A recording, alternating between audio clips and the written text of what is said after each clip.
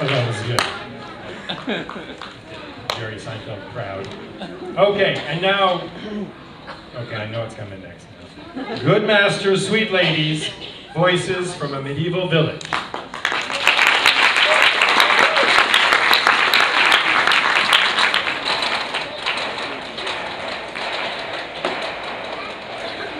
Good masters, sweet ladies, I am Giles the Beggar, the best of my trade.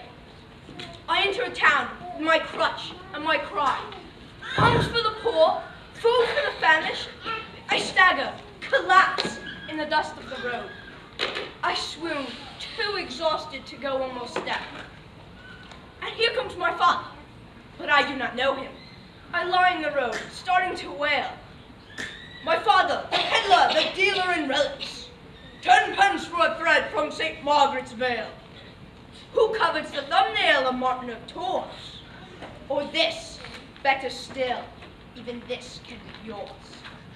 A flask of the healing holy water. Don't jostle now, don't push. The sacred holy water, used on the feet of St. James Apostle. Sometimes they pay, but more often they don't. So my father, he throws up his hands and sighs like that.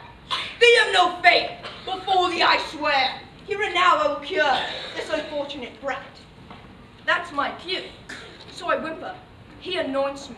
Will I seem to faint with the authentic holy water used on the feet of the holy saint?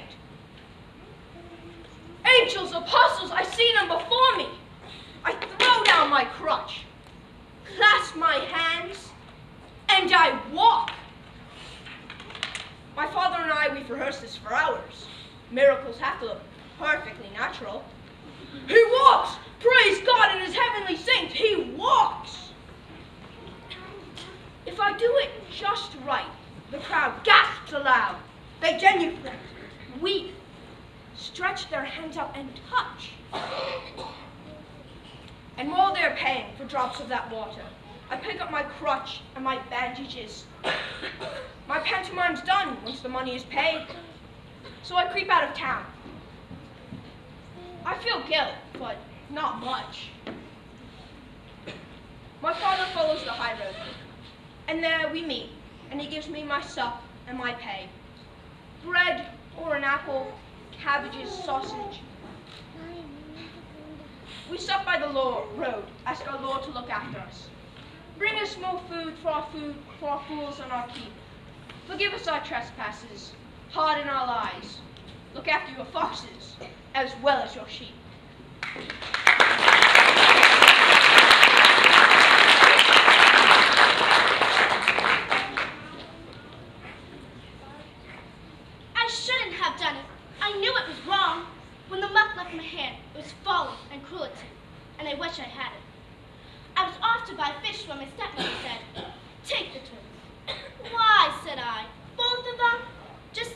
She said, and burst into tears.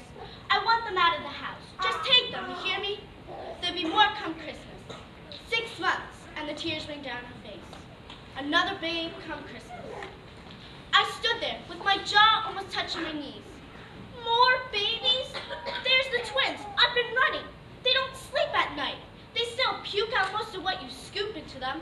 They shriek like hawks all day long. The carpet stinks like a midden.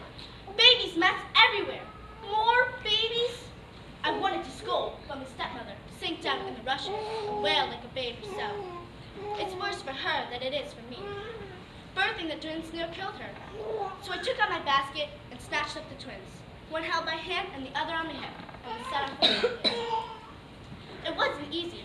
The twin on the ground grabbed the fish from my basket and threw it. It landed in the water truck, and had to wade through the mud to get it back. The twin on my hip seemed quite enough until he started to bellow. That's when I saw her. Isabel, the Lord's daughter, dressed in purple. Her hair was combed back, sleek as an otter. Her veil was snow white.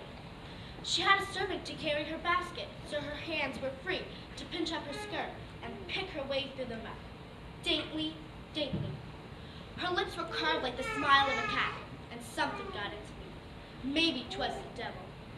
I let go of the twin and picked up a handful of dun, filth, God knows what, and let fly. Bullseye! But I didn't enjoy it. Not for one moment. Not after I saw her face. And the smudge of mud against her gown. The prettiest dress I ever saw. I ruined it.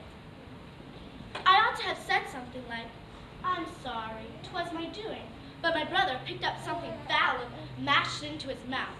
By the time I got to her, she plucked up her skirts to go. Her back was straight as a knife, her head oh, Poor girl. I was sorry, almost to weeping. On the way home, I went to church. I dragged the twins before the crucifix and knelt down, trying to pray and keep hold at the same time. I prayed that God would forgive me, that the mud would come off her dress, that my stepmother wouldn't die. I remember how all women are the same. Isabel, the Lord's daughter, will have to be married, and will have to squat in the straw and scream with the pain and pray for her life, And thinking of that, I added one more prayer. Sweet Jesus, come Christmas, don't let it be twins.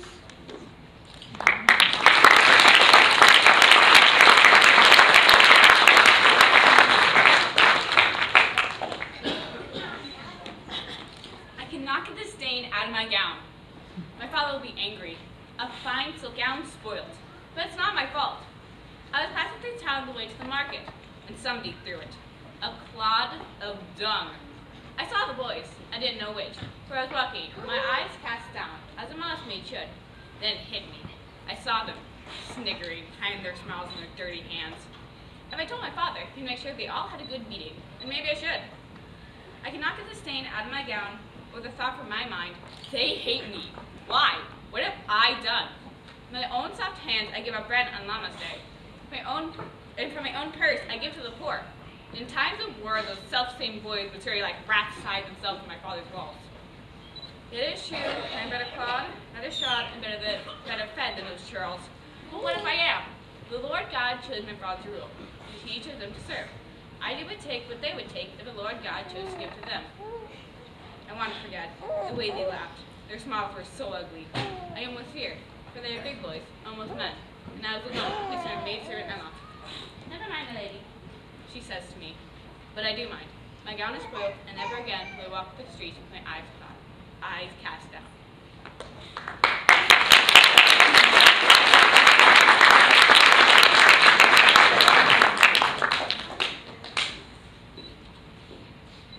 My lord grandfather fought in the Crusades with Richard the Lionheart. He told me tales, how he spitted Saracens upon his lance, cleaved them in twain, slashed open their skulls to save the holy city.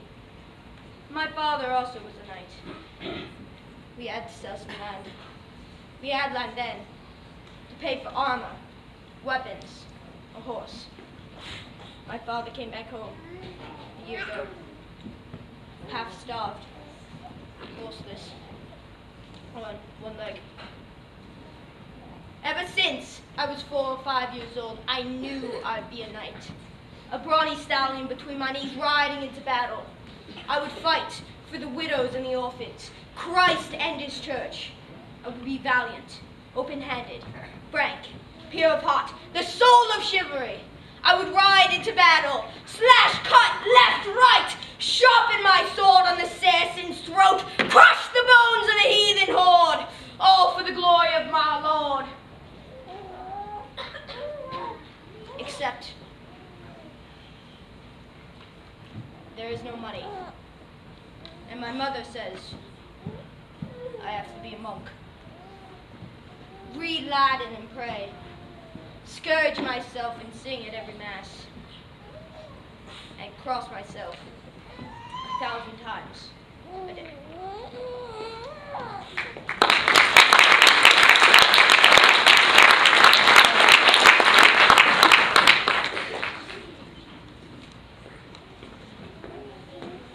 Listen now, sparrowhawk. The stars are fading. Soon the bell for prime will ring. I'll raise thy hood, untie thy leash, and fare thee well. The mews are all but emptied now. The great birds auctioned off, one by one. One single sparrowhawk left, the one tamed by the falconer's son. And that's thyself. Master Simon's off to be a monk, and thou must ride his fist to St. John's Abbey. Save that I will free thee now. I will not leave thee in his care. I know young Simon, I know thee. I'll loose thy jesses and cast thee off, even though they punish me.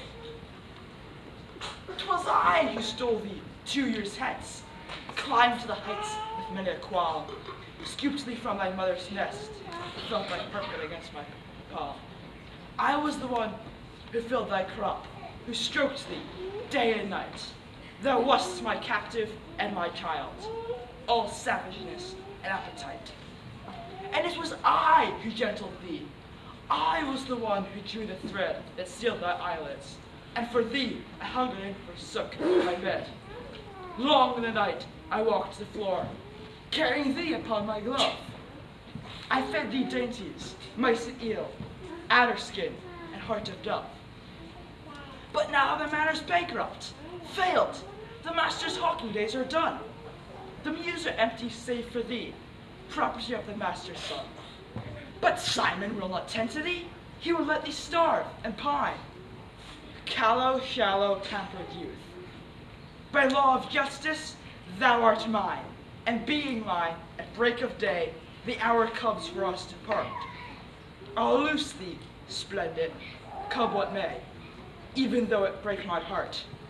The moment when I set thee free, neither of us will shed a tear.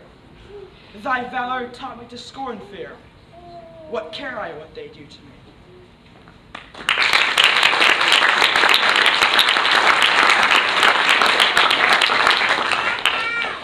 The Feast of All Souls I ran from my tutor. Latin and grammar? No wonder.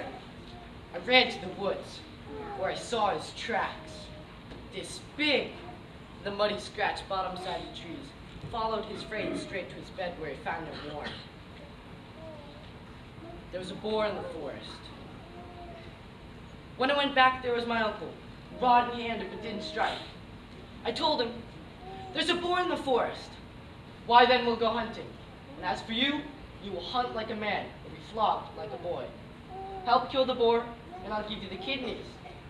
Turn tail, I'll have the skin off your back. That night, I laid and dreamed of the hunt, the underbrush stirring, the snort of the boar, its foul mouth foaming, its tusks like scimitars. Those tusks can slice a man groin to gorge. But that's not the worst. The man who dies from the wound of a boar loses his soul and burns in hell. Dawn came. We mounted long before noon. The dogs caught the scent and the hunt was on. Two relays of hands squealing most sore. The third one faint with fatigue. I could smell my sweat, rank with fear. Then, it was like in my dream. The underbrush moved. The sticks shattered. I saw it, bristling, dark as the devil, huge as a horse. Then my bowels turned to water. My uncle dismounted and I did the same. My legs were like straw, but I walked. Mouth dry, palms wet, one hand forward on the spear and one foot ahead. To fall would be death. It charged, my uncle lunged, and I behind him, thrust, felt the spear pierce, braced myself, bent to armpit. It took a long time, the dogs keening and the boar struggling, blood on the grass, but I stood my ground. At last it was over, and the brute lay still. I almost wept, the joy of it, and the terror. I gasped like a fish, let my head fall back. The green leaf swam in the sky. He kept his word right there in the wood. He kindled the fire and butchered the boar. The kidneys were mine, gleaming with fat. He clapped my back and called me a man. But dark in the night, I hear that sound, sweat in my sleep, and my spear slips through my hand. I dream that I'm back in the wood with that boy.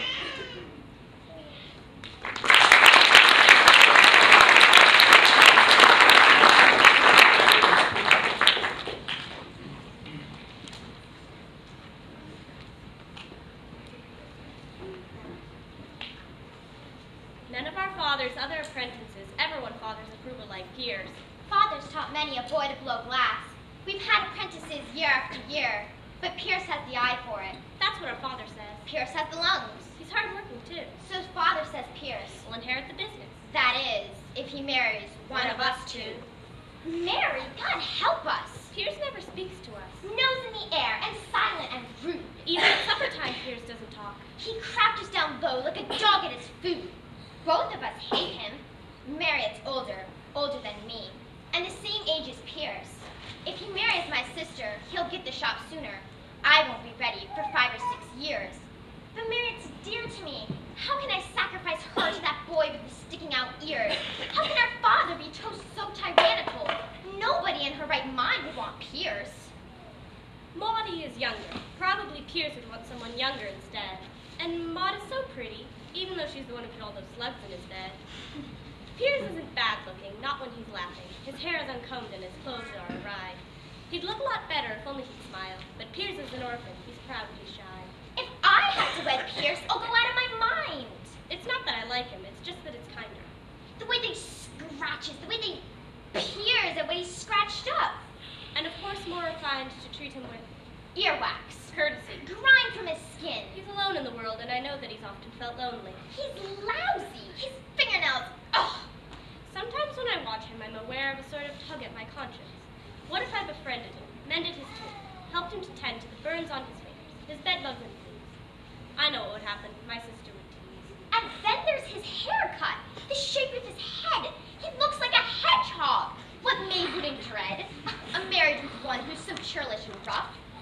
The truth of the matter is ah. that I'm not, is that father is thinking I'm constantly shrinking.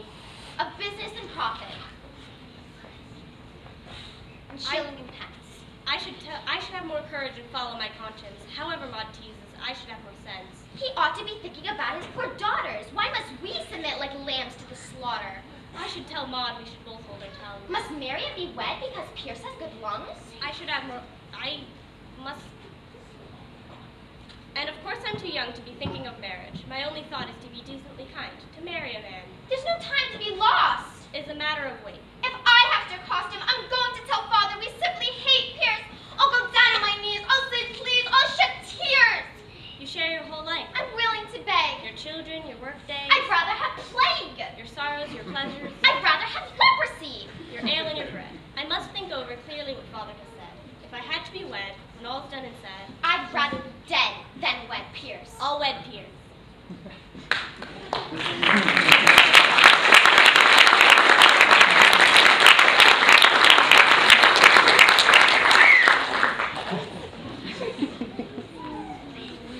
After three years of pumping the bellows and stoking the furnace, I said to the master, When do I learn to blow glass? He stared at me with his one blue eye, the other one burned in a workshop fire. A red seam down his face where the eye melted shut. When I choose to teach you. That was all he said. The rest of the week I was peevish and slothful. He knew I was and once he said, You won't find it easy. It's harder than it looks. Then he said, Nah. I blinked, bone stupid. What now? Wanted the chance to blow glass. Now try it. So I did. I'd watched him a thousand times. I took the iron pipe, placed it in the fire till it glowed red hot. My hand, my left hand nearest the flames, throbbed with the heat. I gathered the glass, white hot, glowing, to my, with the pipe to my mouth, and blue and blue and blue. But the glass was stiff. It wouldn't swell. I put my thumb on the pipe, sucked air, blew out. All the while, the glass was getting colder, duller, orange, blood red, mud red, black. I didn't dare look at him. That one-eyed stare. His voice was kind. Again. So I did. I took the pipe, placed it in the fire, gathered the glass, sweated, blew. My cheeks puffed out. The iron pipe banged my teeth. I blew like the angel Gabriel sounding the horn on Judgment Day.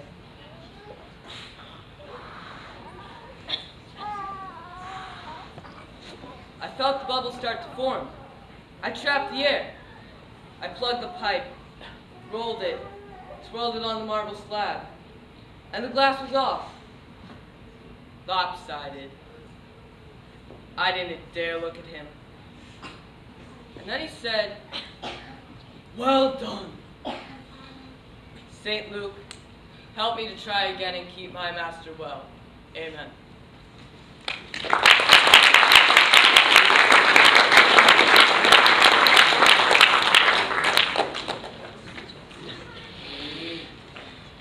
My father is a noble Lord's physician, and I am bound to carry on tradition. With every my father cures, I learn more medicine. Ordinary sores will heal with comfrey or the white of an egg, and eel skin takes the cramping from a leg. I know five kinds of fever and four humors, bloodletting and the way to feel for. I know the stars and moons planetary.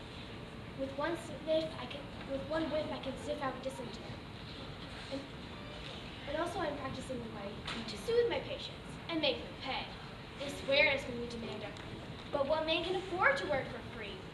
When you first see a sick man, feel his brow and say, you should have called me before now.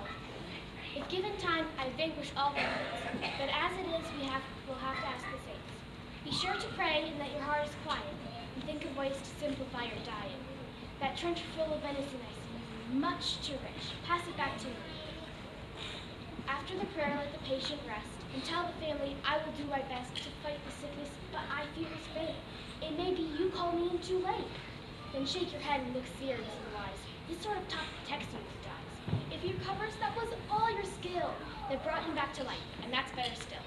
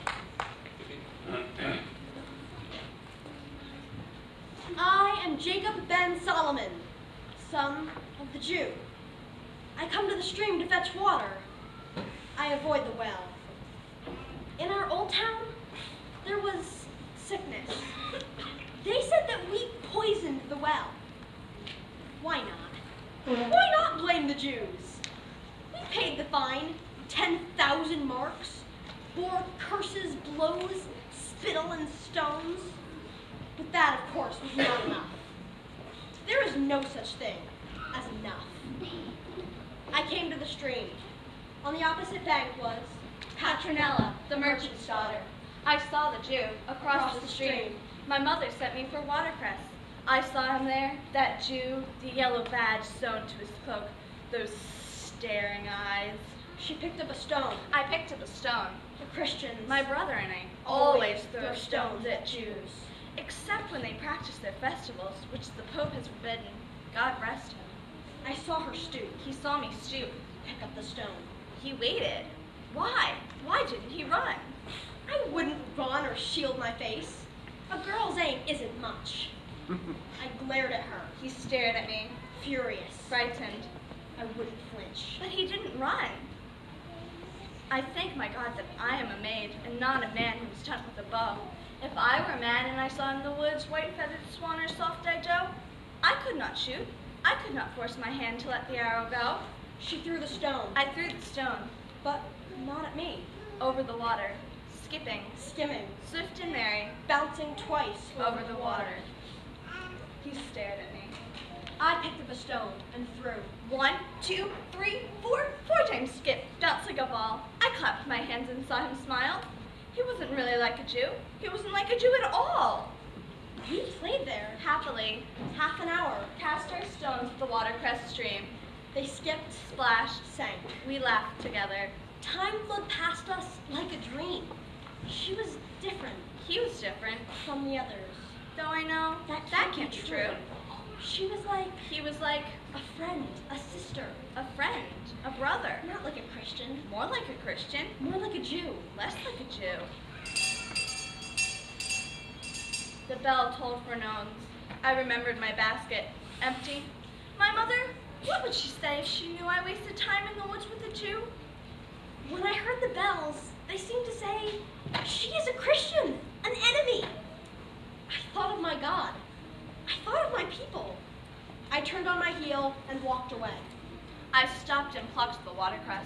When I looked up, he was gone. One half hour, I forgot, standing there in the water shoal, Who she was, who he was and my duty to God. I never told a living soul.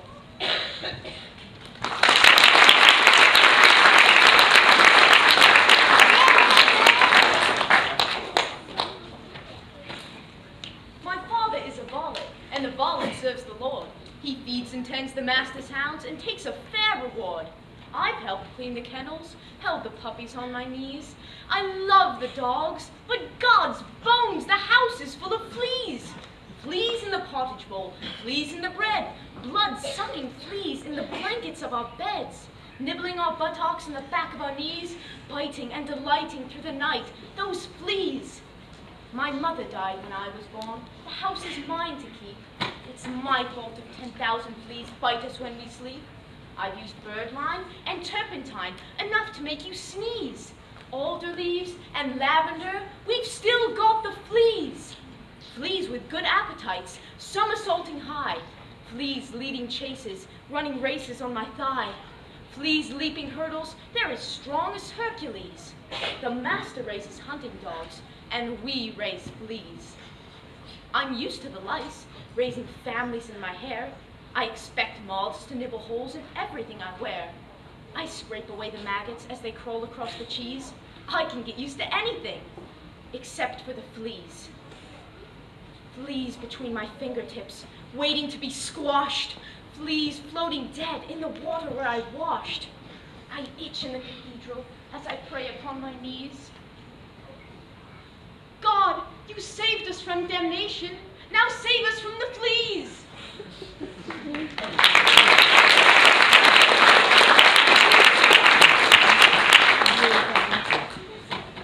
My mother died when I was born, so I was suckled by one of the sheep. It's made me, my father says, more sheep than human, which is true. All my life, I've looked at the sheep, drunken their milk, eaten their meat, washed their fleece, carded their wool. Now that I'm older, I can help with the lambing. My hands are small, which is good, in case you have to reach inside a sheep. Jilly's my favorite. She's my sister. The same mother gave us milk. Most sheep don't care, one way or another. But Jill is sweet is a sweet of heart. I love the feel of her chin in the palm of my hand. I love the smell of her on my fingers. It was last spring when I wakened. I knew something was wrong. Jill, what's amiss? But she only stared, with the blank, dark eyes of a beast in pain. I walked behind her, lifted her tail, and saw the head of a dead lamb sticking out between her legs. She'd been struggling to push out that lamb, God knows how long, and me lying asleep, I rubbed goose grease on my hands and reached inside. She was bone dry. I knew I heard her dragging out that lamb, and she lay on the ground, as motionless as death. I called the old shepherd and made him look at her. He said she would die, he said. She's given up. Sheep don't fight. That's why they need shepherds. I started to cry, and old Ralph saw. There's one thing, he said. I wet my nose on my sleeve. What's that? You might try singing. No one knows why, but sheep fancy music. They do. So all that day and all that night, I stayed by Jill and sang. It was really a song for the Virgin Mary, but I changed the words and sang it over and over, and the stars came out. I stroked her fleece and felt her chest a hundred times to see if she was still breathing. The moon crossed the sky. There was dew on the grass. The morning star rose. I sang until my voice was hoarse, and I was shivering so hard I couldn't go on. Then I wrapped my arms around Jill, lay down beside her, and slept. I must have slept well because she got away from me. When I opened my eyes, the sky was full red, and Jill was standing up cropping her grass.